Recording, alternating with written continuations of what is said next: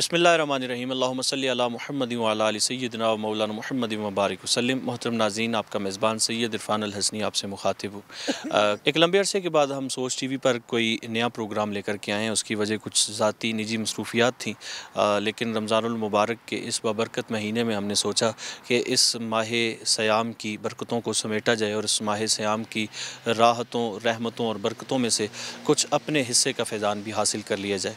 तो आज बिलखसूस रमज़ानमबारक की ये सातें चल रही हैं, आखिरी अशरा चल रहा है और आज कुरान मजीद, बुरहान रशीद के हवाले से बात करेंगे और रमज़ानमबारक का जो एक ख़ास ताल्लुक़ है कुरान पाक के साथ, कुरान मजीद, बुरहान रशीद के साथ, इस हवाले से गुफ्तु की जाएगी। मतलब हम कुरान, रमज़ान और साहिब कुरान की अज़मतों पर बात करेंगे और इसके अलावा रमज़ान के दामन में जो नस्बतें हैं, इस हवाले से भी बात करेंगे। और आखिर पर मैं मौजूदा मुल्की सूरत हाल पर भी एक सवाल ज़रूर करूँगा अपने मुआज़ मेहमान मेहमान से अपने मुज्ज़ मेहमान का तारुफ़ करवाता चलूँ। जैसा कि आप जानते हैं, हमारे दोस्त, हमारे दरीना करम फरमा, सोच टी वी का हिस्सा भी हैं। हज़रत अल्लामा मीसा मोहम्मद इरशाद साहब हमारे साथ मौजूद हैं। अलामा साहब, बहुत शुक्रिया हमें अपना कीमती वक्त मरम्मत फरमाने के लिए।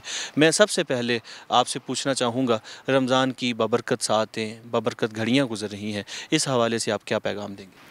बसमीम महमद महमद मुबारक वसलम सबसे पहले तो आपका और आपकी पूरी टीम का मैं शुक्रिया अदा करता हूँ। रमज़ानमबारक अल्लाह ताला की नेमतों में से एक ऐसी अजीम नेमत है कि सारी उम्मत मुस्लिमा अगर सारी ज़िंदगी भी इस नेमत का शुक्र अदा करे तो यकीनन ये कम है।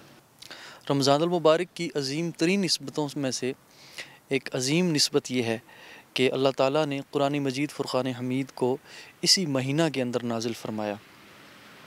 अब ये बात समझने की है कि कुरानी मजीद की का फैज़ लेने के तरीके क्या हैं। सूफिया कराम में से बहुत सारे सूफिया ने इस पर सैर हासिल गुफ्तु की है। लेकिन डॉक्टर इकबाल रहमत की ये बात मुझे बहुत ज़्यादा पसंद आई और मैं अक्सर अपने दोस्तों को ये बात अर्ज़ भी करता हूँ।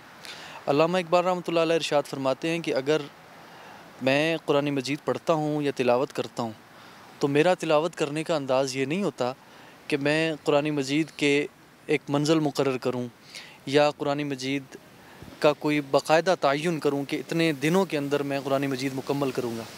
फरमाते हैं कि मेरा कुरानी मजीद के साथ इश्क आलम यह है कि मैं बाज़ात रात को, रात के पिछले पहर कुरानी मजीद की तिलावत शुरू करता हूँ।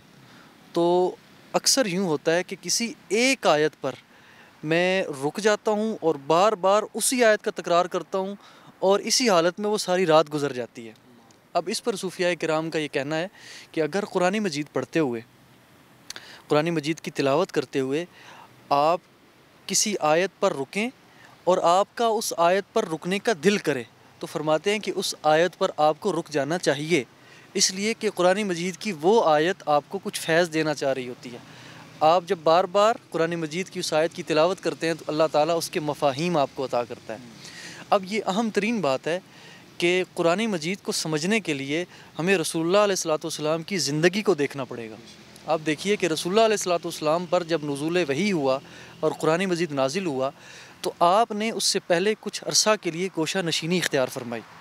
गार हराम में आप मखलूक से कट कर अपने मालिक के साथ, वैसे तो उनकी ज़िंदगी का एक एक लम्हा एक एक लहजा आलम अरबाह में भी वो अल्लाह से जुदा नहीं थे, अल्लाह उनसे जुदा नहीं था।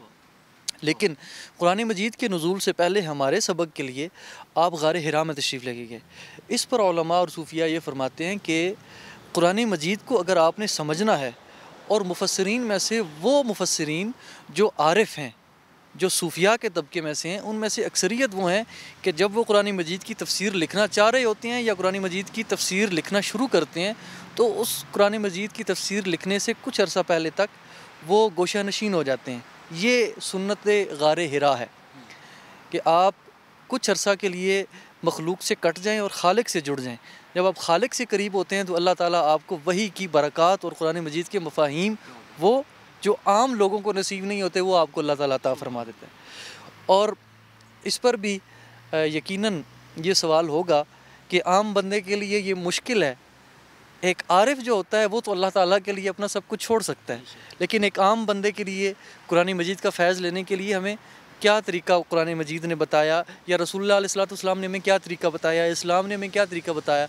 तो उसका जवाब ये है कि आखिरी अशरे का जो एतकाफ़ है, ये वही सुन्नत गार हिरा है कि आप मखलूक से कट जाएँ, खालिक से करीब हो जाएँ, फिर आप कुरान मजीद की तिलावत करें। अल्लाह ताला आपको वो असरार अता फरमाएगा।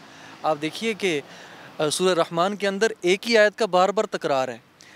तो ज़ाहिरन आपको ये लगेगा कि ये वही अल्फाज हैं, लेकिन जब आप सुनत गार हिरा पर अमल करेंगे, मखलूक से कट जाएँगे, खालिक से करीब हो जाएँगे तो हर बार फ़बी अला रब कुमात का ज़बान आपको एक नए मफाही अता करे। हज़रत रसालत माब की अज़मतों के हवाले से, कुरान पाक की अज़मतों के हवाले से और रमज़ान मुबारक की अज़मतों के हवाले से आपने बड़ी खूबसूरत गुफ्तु इर्शाद फरमाई। यह महीना अपने दामन में बहुत सारी नस्बतें रखता है। मैं पूछना चाहूँगा ये जो नस्बतें हैं इस महीने की, जैसे कि शहादत मौला अली है, हज़रत बीबी पाक सैदा ज़ाहरा सलाम का विसाल है, योम बदर भी है, हज़रत सैदा खदीजतुल्कुबरा का योम भी इसी महीने में है, और दीगर भी कई नस्बतें हैं। तो मैं पूछना चाहूँगा इरशाद फरमाइएगा कि ये नस्बतें हमें क्या पैगाम देती हैं? जी। रसोल्लाम ने इर्शाद फरमाया कि कुरान अली के साथ है और अली कुरान के साथ है। आप इत्तेफाक देखिए कि इन्ना अनजल्ला फ़ी लतुल्क़द्र और हज़रत यमुर्तज़ा करम तजल की शहादत भी ताक रातों में से एक रात में है। मुझे एक दानश्वर का कौल बड़ा अच्छा लगा। वो कहता है कि अगर कुरानी मजीद मखलूक होता, अगर कुरानी मजीद मखलूक की सूरत में नाजिल किया जाता तो वह हु बहू अली होता। कहता है कि अगर अली किताब की सूरत में उतारा जाता तो अली सारे का सारा अलहम से लेकर वन्नास तक सारे का सारा कुरान होता। इस कदर इतिहाद है हज़रत अलीमरतज़ा करम करीम का और कुरानी मजीद का कि आप जंगों में जब शरीक होते थे तो आपके साथ एक जम्बील होती थी। किसी ने पूछा, या हज़रत, इस जम्बील के अंदर क्या है? तो आप फरमाते थे, इस जम्बील के अंदर मैंने अल्लाह का कुरान रखा हुआ सफ़र हो, हज़र हो, आपकी ज़िंदगी का एक एक लम्हा और एक एक लहजा। इस वक्त उम्मत मुस्लिमा के एक जवाल का जो सबसे बड़ा जो वजह है वो ये है जो अल्लाह ताला ने कुरान मजीद में इरशाद भी फरमाई, पिछली कौमों का जवाल क्या था? अफ़त मिनून बिबाद, अलकिताब व तकफ़रून बिबाद। कि तुम किताब मजीद की बाज़ आयात को, बाज़ अहकाम को मानते हो और बाज़ का इनकार करते हो। हमारे यहाँ भी उम्मा के जवाल की एक बुनियादी वजह यह है कि हम कुरान मजीद के बाज़ हिस्सा को मानते हैं और बाज़ को नहीं मानते। हमारे मुसल्ले पर कुरान है, हमारे कारोबार में कुरान नहीं है। हमारे महराब में कुरान है, मंबर पे कुरान है, हमारे तख्त पर कुरान मजीद नहीं है, कुरान मजीद के अहकाम नहीं है। बल्कि हमारी कौमी पॉलिसीज़ जितनी भी हैं, वो सारी की सारी कुरान मजीद के ख़िलाफ़ हैं।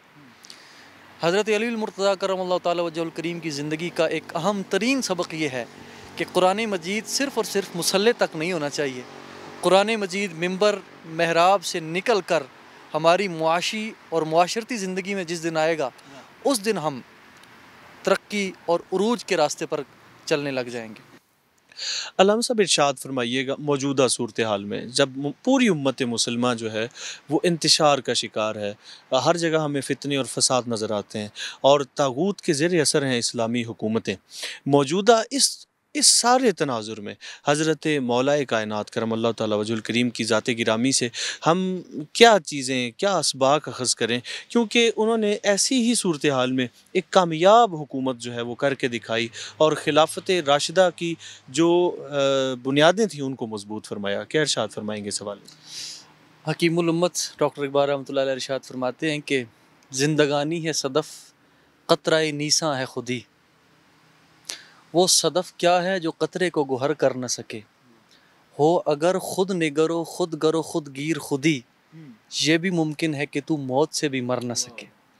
यही हज़रत अली मुर्तज़ा करम तजल करीम की अज़मत है कि उनकी ज़िंदगी में खुदी का लेवल इस कदर बुलंद था कि सिर्फ़ ला इल्लल्लाह, मबूद सिर्फ़ और सिर्फ़ एक, आज इमाम हुसैन अली मुकाम सलाम का नाम हर कोई लेता है लेकिन जो नाम लेने वाले हैं वो भी हुक्मरानों के कसीदे पढ़ते हैं। हमारे लिए सबसे बड़ा पैगाम यह है कि जब खून अली हुसैन के अंदर हो तो फिर क्या होता है कि हाथों पे रख के लाए थे सवाल बैत का सरों को नेज़ों पे रख कर जवाब ले जाओ ये खुदी है। जो कुरान मजीद का सबसे जो रूह है कुरान मजीद की रूह जिसको डॉक्टर इबार रहमत ने रूह कहा है आज हमारी सबसे बड़ी बीमारी और कमज़ोरी ये है कि हमारी खुद ही सलामत नहीं है। अगर हमारी खुद ही सलामत हो जाए और हम रसूलुल्लाह सलाम के घराने ने जो हमें पैगाम दिया था और कुरान मजीद का जो पैगाम है और कुरान मजीद की जो रूह है हम उसको समझ जाएँ और अपनी खुद ही को हम दोबारा से ज़िंदा कर लें। तो पूरी दुनिया के अंदर आज भी मुसलमानों का जो मुकाम है खोया हुआ वो दोबारा से बहाल हो सकता है। अलामा साहब, बहुत शुक्रिया आपके कीमती वक्त का, आपने अपना कीमती वक्त मरहमत फरमाया। हज़रत अल्लामा मीसा महमद साहब हमारे साथ मौजूद थे, आपने बड़ी खूबसूरत गुफ्तु इरशाद फरमाई और रमज़ानमबारक के ये जो अयाम गुज़र रहे हैं, इन गुज़रते दिनों में हमने चाहा कि कोई पैगाम और कोई मैसेज हम आप तक ज़रूर पहुँचाएँ। तो सोच टी वी ने इस तनाजुर में जो मौजूदा मुल्क की सूरत हाल है, इस पर भी बात की। लामा साहब ने खूबसूरत और शेर हासिल गुफ्तु इरशाद फरमाई कि मज़हब हमें इस मौके पर क्या रहनुमाई देता है? अलावाजी फ़ज़ाइल पर भी बात की गई। इन मज़ीद भी हम ऐसे ही प्रोग्राम्स आपकी खिदमत में लाते रहेंगे। फ़िल वक्त अपने मेज़बान सैद इरफान हसनी को इजाज़त दीजिए। अल्लाह ने के बाद।